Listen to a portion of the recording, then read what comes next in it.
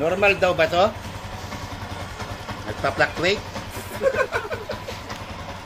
Ay, ito, normal ba?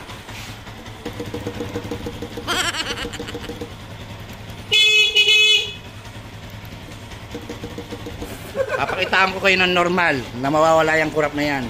Gamit lang ang power applied method mga kabegs. No? Tignan nyo ha. O, siyempre natapos na. Start natin.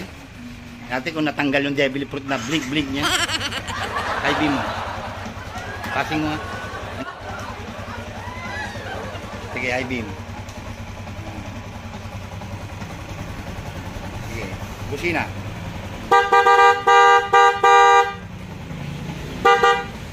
Simpleng simple lang ang nakakabit. Yan lang, wala naman akong binago. Dumating sa akin ganyan ang setup. Aalis sa akin ganyan pa rin ang setup. Hazard mo nga. Ayan, sir, kumukurap ba, sir? Ayan na, ah. Patay mo yung makina, pre. Patay mo. Oh, patay mo mga ilaw. Sige, on mo. Ayan. Naka-hazard, oh. Hindi kumukurap na. Hindi kanina, no? Tapos walang busina. Patay makina. Sige, busina mo.